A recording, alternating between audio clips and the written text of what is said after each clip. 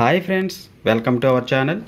Friends ఈ వీడియోలో మనకి బ్లూటూత్ మ్యూజిక్ వైర్లెస్ స్పీకర్ అనేది పూర్తిగా పాడైనప్పుడు కానీ లేదా షార్ట్ అయినప్పుడు దాన్ని ఏ విధంగా మళ్ళీ మనం మోడిఫై చేసి యూజ్ చేసుకోవచ్చు ఈ వీడియోలో అయితే ఎక్స్ప్లెయిన్ చేస్తాను ఫ్రెండ్స్.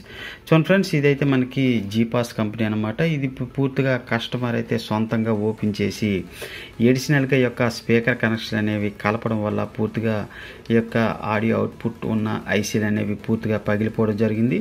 ఇప్పుడు దీన్ని అయితే పూర్తిగా మోడిఫై చేసి రిపేర్ అయితే చేయడం జరిగింది ఫ్రెండ్స్. ఇక్కడ ఒకసారి మీరు గమనించవచ్చు. ఇది పూర్తిగా మనకి నైన్ వోల్ట్స్తో అయితే రన్ అవడం జరుగుతుంది.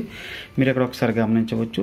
ఇదైతే డీసీ కనెక్షన్ నైన్ వోల్ట్స్ ఛార్జర్తో పూర్తిగా ఇది బ్యాటరీ అనేది ఇవ్వడం జరుగుతుంది. ఫ్రెండ్స్ ఈ యొక్క బ్యాటరీ అనేది పూర్తిగా ఛార్జింగ్ అయ్యి మనం బయటికి అంటే అవుట్డోర్లో కూడా దీన్ని పట్టుకెళ్ళి ఉపయోగించవచ్చు ఇది నేనైతే పూర్తిగా ఈ యొక్క బ్యాటరీ అంటే కస్టమర్ అయితే పూర్తిగా ఓపెన్ చేసి ఈ యొక్క స్పీకర్ కనెక్షన్లు అనేవి కలపడం వల్ల పూర్తిగా షార్ట్ అయితే అవడం జరిగింది. అంతేకాకుండా ఈ యొక్క బ్యాటరీ కూడా పూర్తిగా దీని నుండి తీసివేయడం జరిగింది ఫ్రెండ్స్.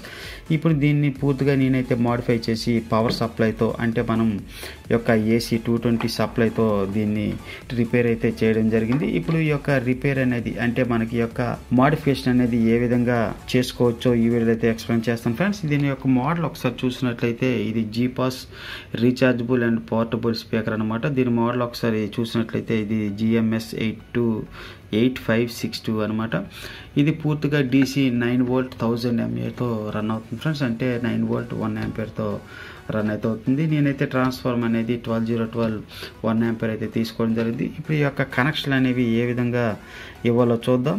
దీంట్లో ఇంకా చూసినట్లయితే మనకి ఈ యొక్క వన్ టు టెన్ వరకు సెలెక్టింగ్ బటన్స్ దాంతోపాటు మైక్ రికార్డింగ్ మోడ్ బటన్స్ అయితే ఇవ్వడం జరిగింది. అంటే మనకి ఈ యొక్క మైక్ అనేది పెట్టి పూర్తిగా రికార్డింగ్ బటన్ ప్రెస్ చేసినట్లయితే మనకి ఈ యొక్క డేటా అంతా ఈ యొక్క యూఎస్బీలకి వెళ్ళడం అయితే జరుగుతుంది. ఇక్కడ ఒకసారి మీరు గమనించవచ్చు దీంట్లో యూఎస్బీ అలాగే టీఎఫ్ కార్డ్ అంటే స్మాల్ మెమొరీ దాంతోపాటు ఆక్స్ కనెక్షన్ కూడా ఇవ్వడం జరిగింది. ఫ్రెండ్స్ ఇది ఒక ఆన్ ఆఫ్ బటన్ కూడా దీంట్లో ఇవ్వడం జరిగింది. మన అంటే మనం ఫుల్గా ఛార్జ్ చేసి బయటికి పెట్టి ఆన్ చేసుకున్నట్టయితే పూర్తిగా సెట్ అనేది ఆన్ అయితే అవ్వడం జరుగుతుంది. అంతేకాకుండా దీంట్లో నాలుగు కంట్రోల్స్ కూడా మీరు గమనించవచ్చు. దీంట్లో మనకి వాల్యూమ్ అలాగే ట్రెబుల్ ఈకో మైక్ వాల్యూమ్ కూడా రావడం జరిగింది ఫ్రెండ్స్. ఈ ఇటువైపు చూసినట్లయితే మనకి రెండు స్పీకర్లు అయితే రావడం జరిగింది. మీరు ఒకసారి గమనించవచ్చు. మనకి ఒక ఓఫర్ అలాగే ఒక ట్యూటర్ అయితే ఇవ్వడం జరిగింది. దీంట్లో మనకి ఎల్ఈడి డిస్ప్లే కూడా అంటే లైటింగ్ కూడా ఇవ్వడం జరిగింది దాంతోపాటు మనకి ఐఆర్ సెన్సర్ అంటే రిమోట్తో కూడా దీన్ని ఆపరేట్ చేయొచ్చు. ఇక్కడ ఒకసారి మీరు చూసినట్లయితే రెండో వైపు మనకి ఓఫర్ సౌండ్ అనేది బయటికి రావడానికి సబ్ ఓఫర్ సౌండ్ అనేది రావడానికి ఒక హోల్ కూడా ఇవ్వడం జరిగింది. అంతేకాకుండా రెండు వైపులు మనకి క్లాంపులు కూడా ఇవ్వడం జరిగింది. ఫ్రెండ్స్ ఈ యొక్క క్లాంపులు అనేవి మనం వేసి ఒక బ్యాగ్లా దీన్ని అయితే యూజ్ చేయొచ్చు.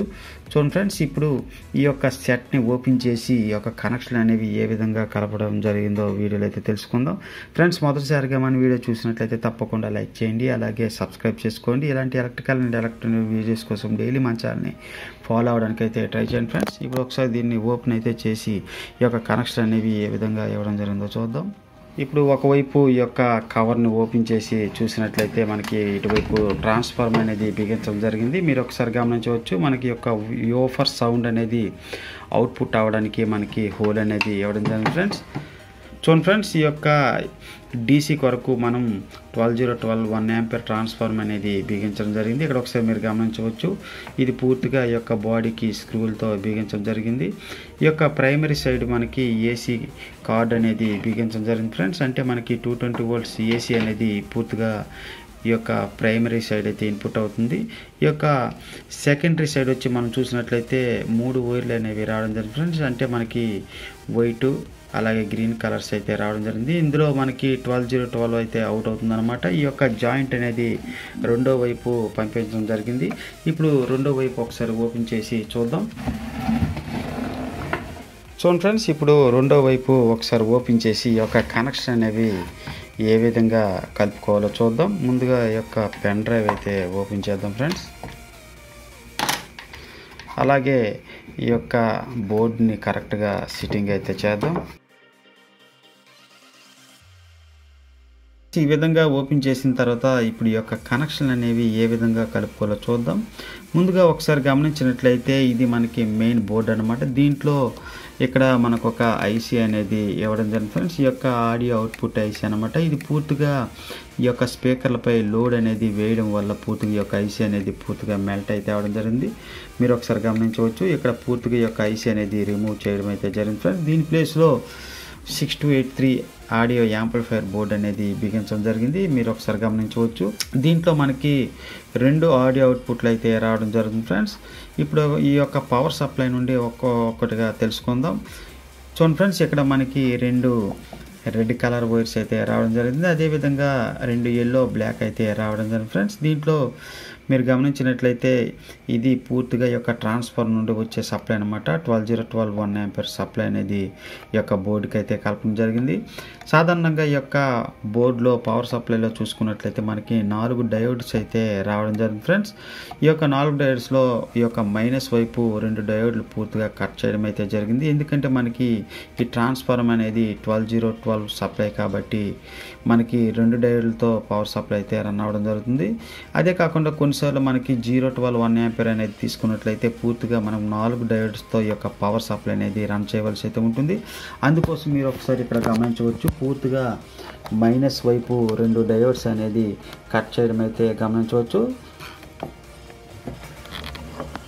ఈ యొక్క బ్లాక్ వైర్ అనేది గ్రౌండ్కి అలాగే ఈ యొక్క ఎల్లో కలర్స్ వైర్స్ అనేవి పూర్తిగా ఈ యొక్క డయోడ్స్కి అయితే కలపడం జరిగింది. ఇప్పుడు మనకి పూర్తిగా ట్వెల్వ్ వోల్ట్స్ అయితే ఇక్కడ జనరేట్ అయితే అవ్వడం జరుగుతుంది ఫ్రెండ్స్ అంటే మనకి యొక్క బోర్డ్ అనేది పూర్తిగా ట్వెల్వ్ వోల్ట్స్తో రన్ అయితే అవ్వడం జరుగుతుంది.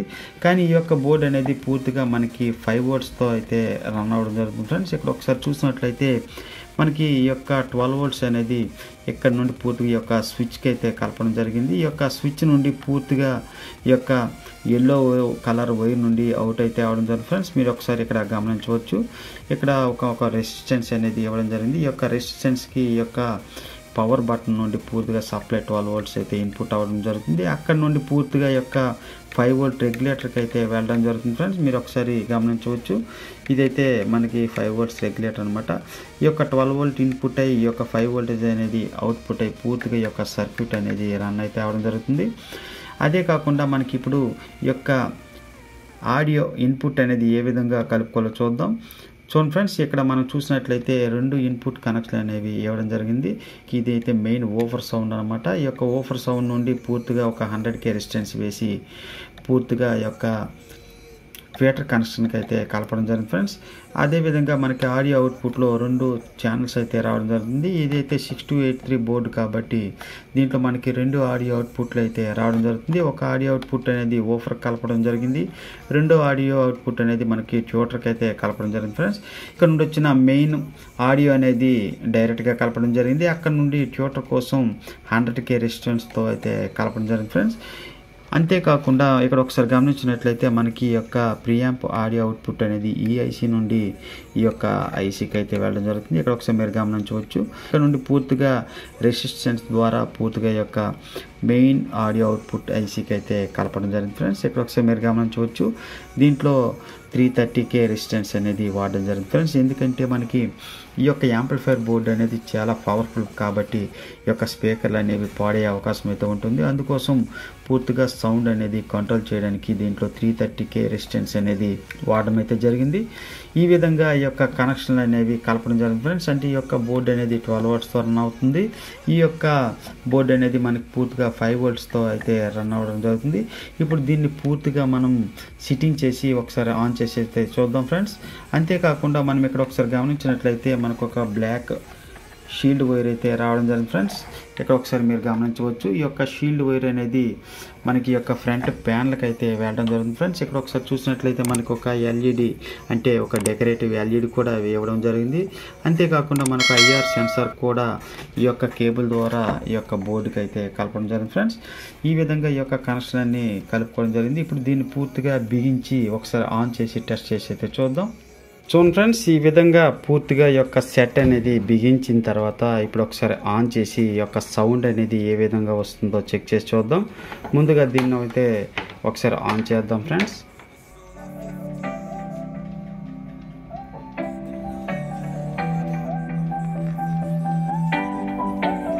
మీరు ఒకసారి ఇక్కడ గమనించవచ్చు మనకి యొక్క డెకరేటివ్ లైట్ కూడా దీంట్లో ఇవ్వడం జరిగింది ఫ్రెండ్స్. దీంట్లో మనకి డెకరేటివ్ లైటింగ్ కూడా రావడం జరుగుతుంది.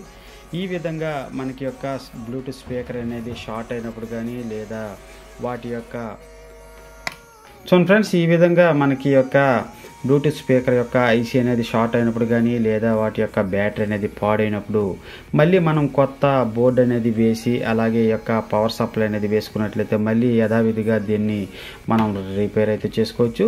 ఓకే ఫ్రెండ్స్ ఈ వీడియో కనుక మీకు నచ్చినట్లయితే లైక్ చేయండి షేర్ చేయండి కామెంట్ చేయండి. అలాగే మన ఛానల్ని ఎల్లప్పుడూ ఈ విధంగా సపోర్ట్ చేస్తూ ఉన్నాను friends. Thank you for watching.